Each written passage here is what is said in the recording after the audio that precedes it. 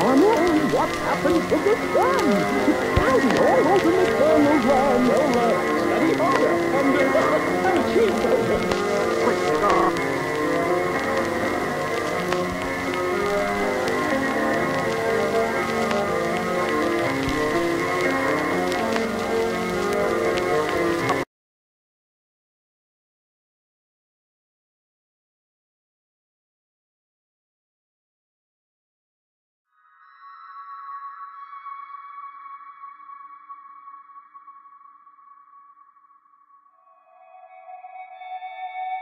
Entrada 1. No sé si esto va a llegar a alguien. Si lo hace, probablemente sea porque ellos así lo deseaban, en cuyo caso, lo siento mucho. Tal vez simplemente no les importa. Tal vez no importa porque no hay nada que podamos hacer. Si eres como yo, has visto cosas extrañas por la ciudad, y lo más importante, te has dado cuenta y lo has recordado mientras todos los demás siguen con su día en una ignorancia dichosa. No sé hasta dónde se extiende, pero hasta ahora, nadie ha mostrado capacidad alguna para entender lo que estoy diciendo. Puedo publicarlo en internet una y otra vez, y no obtengo una respuesta relevante. Nada. He considerado la posibilidad de que simplemente esté loco, pero incluso las personas locas pueden obtener alguna reacción. Alguien al menos intentará entenderlos, calmarlos. He consultado con médicos, policías, profesores. Todos simplemente miran al vacío cuando empiezo a describir estas cosas, como si algo estuviera bloqueando activamente el intercambio de información. Mi mayor temor ni siquiera es estar completamente solo. Mi verdadero miedo es que quizás solo esté percibiendo fragmentos de algo más grande, o peor aún, que mi capacidad para entender todo esto esté disminuyendo. Puedo escribirlo, puedo registrar hasta el último detalle, pero no importará si llego a ser como todos los demás. Podría despertar mañana, revisar mis entradas de diario y encontrarme solo con un montón de recetas de pastel misteriosas. ¿Quién demonios sabe?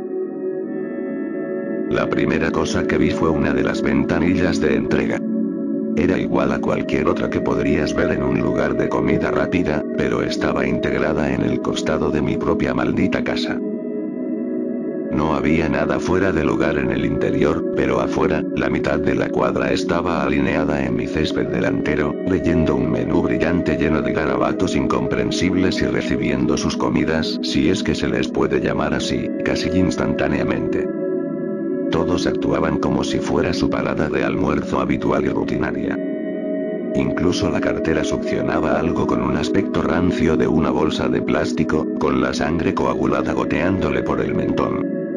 Me aseguró que era la mejor cosa que había probado en su vida. Todas mis preguntas fueron recibidas con miradas en blanco y sonrisas estúpidas. No podía decir quién o qué estaba entregando la comida, ni de dónde provenía. Al mirar dentro, solo encontraba oscuridad. Al menos, así es como lo recuerdo. Tal vez vi algo más, pero ahora ha desaparecido. Dios. Y esto era solo el comienzo. Todos los restaurantes en la ciudad, al menos los reales, suelen estar desiertos. Los empleados todavía acuden, pero ni siquiera se percatan de que no entra ningún cliente. Algunos de estos restaurantes incluso albergan nuevas ventanillas, succionando parasitariamente todo su negocio. Estas ventanillas parecen multiplicarse constantemente, en interiores, exteriores, en casas, en camiones, incluso una en un árbol. Una ventana hacia la nada en el tronco de un maldito árbol, dispensando un revoltijo de comida frita a un grupo ignorante de excursionistas. Según puedo decir, todos los productos son carne, o alguna extraña variación de la misma. No siempre puedo decir de qué tipo de animal o incluso de qué parte del cuerpo solían ser. He visto cosas que parecían haber sido extraídas de alguna profunda fosa abisal oscura y desprovista de divinidad, losas gelatinosas de carne en colores antinaturalmente deslumbrantes, e insectos fritos apenas más grandes de lo que pensé que existían. Y no son solo las ventanillas. También he comenzado a ver esto directamente en los estantes de los supermercados. Envases con apariencia extranjera con ese mismo lenguaje incomprensible con ráfagas ocasionales de pseudo inglés vociferando cosas como sabor de un millón.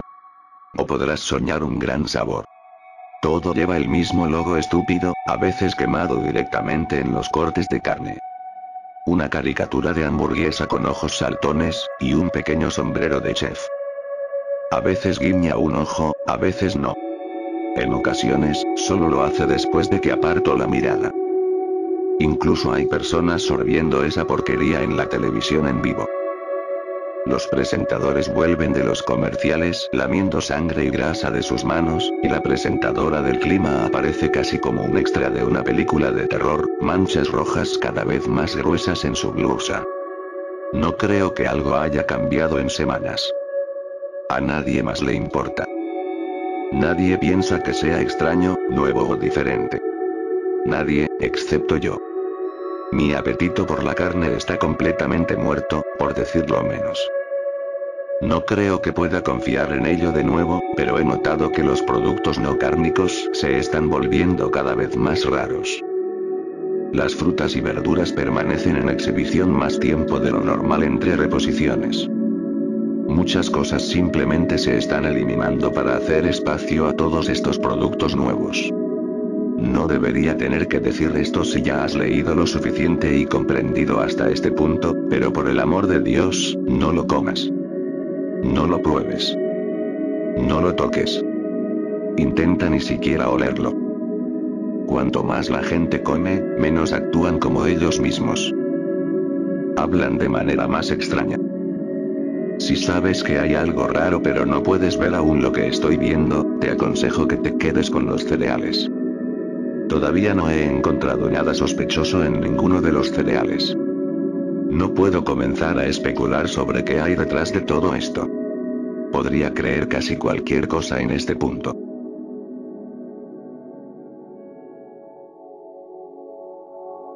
Entrada 2. Los anuncios están por todas partes. Volantes, letreros de neón, vallas publicitarias, todos escritos en algún idioma extranjero extraño que no logro identificar, empapelados con ilustraciones tontas de perros calientes, filetes con ojos saltones y cosas menos identificables. Las personas se detienen y los miran de manera compulsiva, las pupilas dilatándose mientras sus mentes nubladas registran solo Dios sabe qué. Mucha gente siempre dice exactamente lo mismo, en el mismo tono y en el mismo ritmo. Eso suena lo suficientemente bueno para comer. Lo escucho cien veces al día, incluso cuando me atrevo a salir de todas formas. Luego se dirigen directamente a una de las ventanillas de entrega, los supermercados infectados, las máquinas expendedoras que se multiplican rápidamente o una de las puertas verdes. Esas malditas puertas verdes. No sé si son realmente nuevas o si simplemente ahora soy capaz de verlas. La primera que noté había crecido por falta de una mejor palabra, en la pared trasera de nuestro shop retail local. Un asunto feo de espuma marina descolorida, con una ventana embarrada en forma de su logo de hamburguesa, y una manija cromada salpicada de óxido. Igual que todas las demás que he visto desde entonces. La gente entraba y salía a un ritmo constante, pero incluso cuando la observé durante unas buenas seis horas, nunca vi al mismo cliente salir de nuevo. Supongo que eso debería haber sido una gran señal de advertencia, pero no pude soportarlo. Tenía que saber. Por supuesto, no conducía al interior de la tienda. Lo sabía. Tan pronto como entré, fui abrumado por el sonido de las comidas. Banquetes. Sonidos húmedos y resonantes de masticación que ahogaban cualquier otro sonido, tirando de mi reflejo nauseabundo. Había bares, mesas y cabinas dispersas en patrones desorganizados alrededor de filas y filas de buffets. Muchos asientos estaban ocupados, pero la mayoría de los clientes comían de pie, devorando cosas directamente de los bares mientras avanzaban. Sabía que ninguno de ellos podía comprender lo que realmente estaban haciendo, o dónde estaban realmente. La decoración era casi, pero no del todo, al estilo de una diner retro de los 50, tal vez con un toque del Dr. Seuss. Muchos de los muebles lucían gruesos, suaves y plásticos, como si estuvieran diseñados para niños, aunque no puedo imaginar a ningún niño con un gusto tan deprimente. Los asientos estaban forrados con almohadillas verde apagado. Las mesas eran de un horrendo color amarillo marrón con adornos de cromo desgastados. El suelo era de azulejos azul pálido, como en un baño público, con muchas piezas faltantes y desordenadas. Las paredes eran más de ese cromo pegajoso interrumpido por paneles de madera falsa, dando paso a ventanas de vidrio desde aproximadamente la altura de la cintura hasta el techo. Sí, ventanas. No visibles desde afuera. Había cruzado una puerta en medio de una pared de ladrillos común y corriente, pero desde adentro, todo era vidrio. Estaban tan cubiertas de suciedad que apenas podía ver a través de ellas, pero podía afirmar que no era la vista correcta desde detrás del shoprite. Parecía más una vista borrosa de un cuento, casas simples y cuadradas en colinas verdes onduladas. A pesar del constante flujo de personas que entraban por la puerta, no pude ver ni un solo signo de movimiento o vida allá afuera. Comencé a preguntarme si podría parecer sospechoso, simplemente parado y mirando mientras todos los demás se dirigían directamente a la comida. Pensé que bien podría hacer algún esfuerzo por mezclarme. Error número 1. La mayoría de las ofertas eran las típicas porquerías que salen de esas ventanillas para llevar o que invaden los estantes de comestibles. Un montón de filetes crudos y rojos descansaban sobre una cama de sangre negra y coagulada. Muslos de pollo de color blanco pálido goteaban jugos fríos y amarillentos. Un largo canal de papilla gruesa y rosada temblaba como un pudín mientras la gente lo servía en sus bandejas o directamente en sus bocas cubiertas de grasa. Creo que en ese punto me subí la camisa sobre la nariz. Pensé que reconocí muchas comidas exóticas. Patas de rana, patas de pollo, tripa de res, pero no podía estar seguro. No estaba seguro de si los pollos tenían tantos dedos, o si alguna rana que conociera crecía exactamente así de grande. Había una bandeja en la que creí que habían gruesas vainas de semillas segmentadas, hasta que una de ellas se retorció y desenrolló de manera brusca, dos veces, como un dedo que llama. Esta acción provocó un escalofrío en mi piel. Había lenguas. Había cerebros. Había algo parecido a espagueti claro y amarillo en una salsa marrón pastosa. Al menos, eso es lo que seguiré diciéndome que era. Había aletas de pescado, ojos de cabra e incluso huesos, calientes al vapor, huesos blancos y desnudos perfectamente. Apenas podía soportar la vista de alguien comiendo. La señora Faber, una anciana sombría y gruñona de la calle, cavaba como una niña emocionada en un montón grande de dientes de caballo, chupando los restos de tejido de las encías que podía encontrar. Sentí que mi estómago se estremecía. Hicimos contacto visual, y por un momento, casi pensé que veía una mirada de claridad horrorizada, como si la niebla se hubiera levantado de su mente y estuviera a punto de preguntarme qué demonios estaba haciendo. En cambio, sus ojos se empañaron y sonrió con esa sonrisa idiotamente escalofriante. Justo como lo preparaba mamá. Dijo en un tono tonto y cantarín que nunca habría usado en su vida, metiéndose otro molar retorcido y amarillento en la boca, chupando ruidosamente. Podía saborear mi propia bilis para cuando retrocedí de esa impía orgía de depravación culinaria. Fue entonces cuando lo vi. La cosa que he llegado a llamar cabeza de huevo. Estaba tambaleándose alrededor de las barras, agitando los brazos a ciegas. Una figura humana desnuda, de color blanco tiza, sin sexo, dominada por una cabeza redonda y sin rasgos. Una figura hecha carne. La cosa avanzaba por un pasillo a la vez, y al principio no parecía tener un objetivo en particular. De vez en cuando agarraba el cabello o la ropa de alguien, casi como si estuviera desesperada por atención o incluso necesitara ayuda, pero nadie miraba siquiera en su dirección. Supuse que podría ignorar esa cosa como todos los demás, hasta que finalmente avanzó tambaleándose por el pasillo opuesto y cruzó mi línea de visión directa. Se quedó allí. La cara de huevo lisa y en blanco se volvió directamente hacia mí. Recuerdo la carrera a casa, pero sí recuerdo que era plena noche cuando salí disparado por esa fea y grasienta puerta verde. No podía haber sido más tarde del mediodía cuando entré por primera vez, y no podía haber estado contemplando los horrores allí dentro durante más de 40 minutos, desde mi perspectiva. No sé si algo me siguió, pero me barricadé en mi habitación esa noche, solo para estar seguro. Las puertas y las ventanas, están en todas partes. Si puedes leer esto, solo sal cuando sea necesario y no vayas a ningún lugar nuevo podría ser más distinto de lo que piensas. Entrada 3. Solían ser personas. Los cabeza de huevo. Lo he visto mucho en las semanas posteriores del buffet. No todos muestran los signos, pero algunas personas, aquellas que se enganchan más fuerte a esa repugnante mezcla de carne extranjera, parecen ganar peso desde el cuello hacia arriba el cabello se cae. Y lo primero que desaparece son los ojos, luego la boca se sella y toda la cabeza se alisa. Comienzan a deambular sin rumbo, invisibles para todos los demás, olvidados por amigos y seres queridos.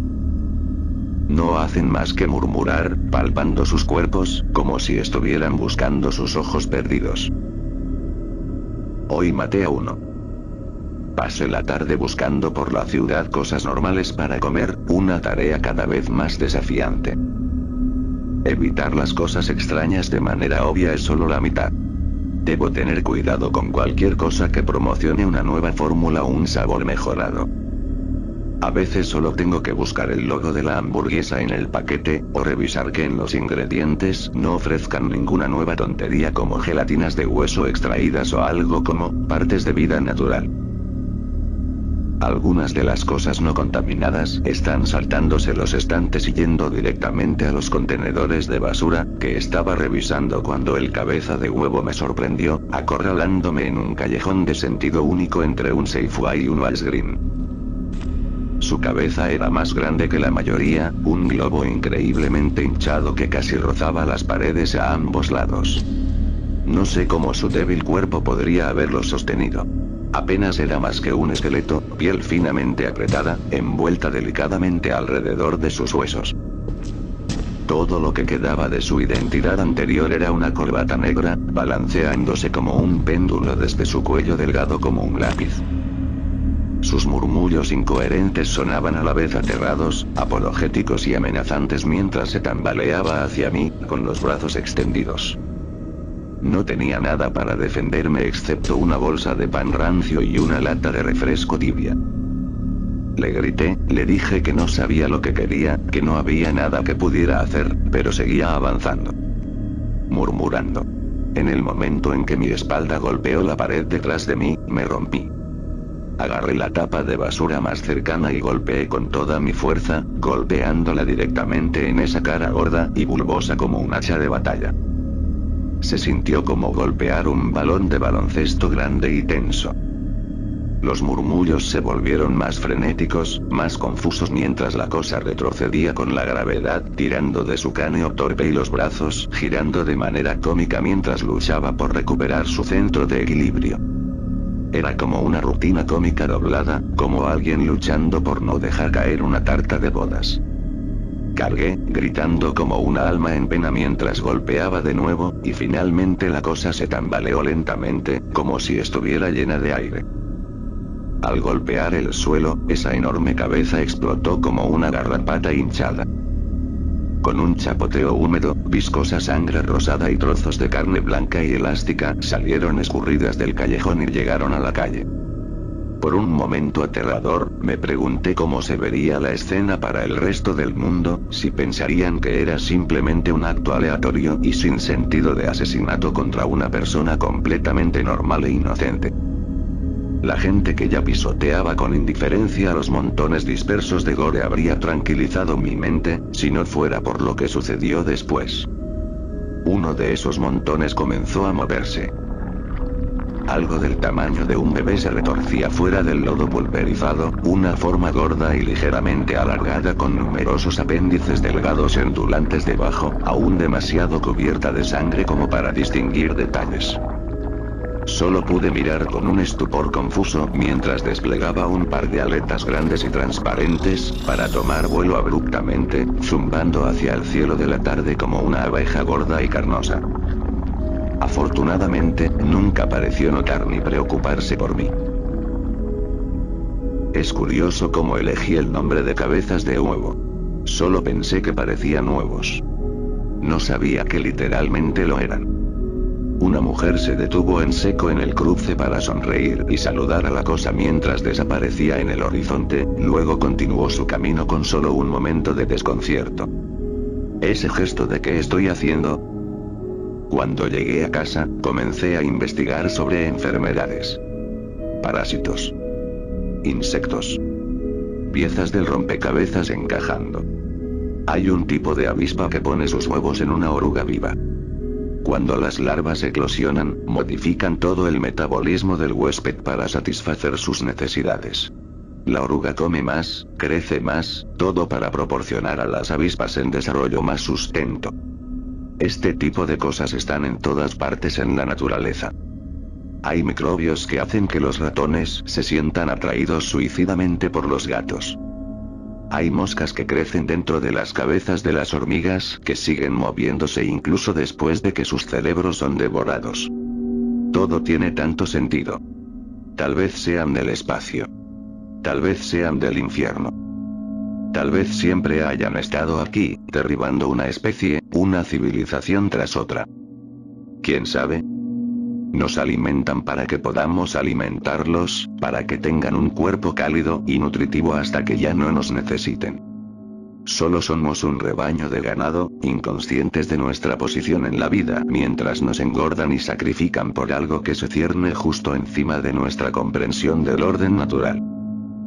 No sé por qué puedo verlos, o por qué puedo ver lo que nos están dando de comer. Soy como una vaca que comprende exactamente lo que sucede en el matadero, y no puedo dejar de pensar en qué podría esperar lograr una vaca con ese conocimiento. Sí, tu conjetura es tan buena como la mía.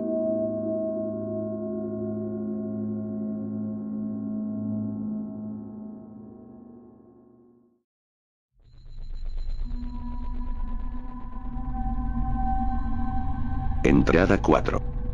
Hoy, seguía una de esas cosas voladoras. Finalmente, salen de los cabezas de huevo por sí mismas, a menudo tardando unos 30 minutos en limpiar la sangre de sus cuerpos resbaladizos con sus patas onduladas antes de elevarse. Nunca han mostrado agresión ni reconocimiento de mi existencia. Simplemente revolotean como si tuvieran algún lugar al que ir. Y al parecer, lo tienen. Fue en el estacionamiento de un Walmart donde presencié otra eclosión. El cabeza de huevo se tambaleaba entre los autos, arañándose la cara, extendiéndose débilmente hacia los transeúntes como si aún pensara que podría ser salvado. Ni siquiera había tocado el suelo antes de que su rostro sin rasgos comenzara a agrietarse de manera audible, y un líquido rosa goteara como la clara cruda. Se derrumbó contra una minivan y se desplomó sin fuerzas en el pavimento mientras un gran trozo de su cuero cabelludo saltaba con un crujido húmedo y sólido. Lo que estaba dentro palpitaba, hinchándose como un pez globo para abrir lo que antes era un cráneo humano. Pulsó y se retorció para salir del cráneo roto, pareciendo nada más que una mosca caballar húmeda y gomosa, o un cerebro invertido con alas membranosas. Sus ramificadas extremidades se retorcían como lombrices, apenas sosteniendo su cuerpo hinchado y rugoso. Las alas temblaron, casi cautelosas al principio, antes de dar su primer salto ciego al aire, y, golpear húmedamente contra el suelo. Fue un fiasco. Hizo otro intento de volar, balanceándose torpemente durante unos metros antes de caer como una roca con otro lastimero golpe húmedo. Me reí bastante fuerte. Cuando monstruos invisibles están devorando a la raza humana y a nadie le importa, tiendes a aprovechar cualquier entretenimiento que puedas conseguir. Volvió a despegar en la misma dirección, posándose en el capó de un jeep. El pequeño estaba decidido. Fue entonces cuando me di cuenta, la oportunidad que había encontrado por casualidad. Siempre habían desaparecido en el cielo antes de que pudiera siquiera tener una idea de su dirección, pero fácilmente podría seguir a este a pie. Pensé que, en el peor de los casos, no vería nada nuevo y tendría que tomar un autobús de regreso a la ciudad. La suerte estaba de mi lado, su destino no estaba lejos. Estuve a punto de rendirme, esperando a que la maldita cosa se recuperara cada 10 o 15 pies, viéndola caer como un avión de papel doblado y revolcarse como un pez moribundo durante minutos a la vez, pero no había pasado una hora antes de que conociera su pequeño secreto, a media milla de los restos arrugados del cabeza de huevo. Un baño portátil. Entre las puertas mágicas, los anuncios llamativos, la comida mutante y cosas extrañas en las que ni siquiera puedo empezar a meterme, nunca me detuve a pensar en los inusuales baños portátiles azules que parecían inusualmente comunes últimamente. Nunca los necesité, y con las obras viales aparentemente perpetuas que consumen nuestros impuestos todo el tiempo que he vivido aquí, no es como si fueran un espectáculo tan extraño. La sucia puerta de plástico se abrió silenciosamente mientras la mosca cerebral se acercaba. Fingí desinterés, haciendo lo posible por pasar como si no me importara, pero eché un rápido vistazo al bote de miel abierto. La mosca cerebral, como decidí apodarlas, ya se estaba precipitando por un largo y oscuro túnel, que se extendía hasta donde alcanzaba la vista. Todo contenido de alguna manera en un pequeño y portátil baño. Nada inusual en estos días. Mientras regresaba a mi auto y conducía el resto del camino a casa, solo persistía un pensamiento. Tenía que saber. La realidad se estaba desentrañando a mi alrededor. Antiguos vecinos peleaban en las calles por bocados rancios de vísceras de pescado, hamburguesas gigantes iluminaban el cielo nocturno en letreros de neón que superaban edificios enteros, cosas estaban devorando a las personas desde adentro, y todo lo que quería era una respuesta. Incluso una pista. Cualquier pista que pudiera encontrar. No sospechaba que pudiera hacer algo, y cualquier día de estos podría despertar como otro zombi delirante, otro esclavo glotón de sus gusanos fritos y globos oculares en vinagre. Podrían molerme y servirme en los buffets, y a decir verdad poco me importaría. Solo tenía que saber a dónde iba ese maldito túnel, y a dónde iban realmente esas bastardas que comen cerebros. Mañana, entraré. Tal vez muero sabiendo una pieza más del rompecabezas, o de alguna manera les doy una paliza a sus pequeños traseros viscosos. ¿Quién dice que incluso estarán preparados para un intruso, si creen que nos tienen a todos engañados? No espero ser una especie de héroe, pero hasta ahora, soy el único que conozco que tiene una oportunidad de intentarlo.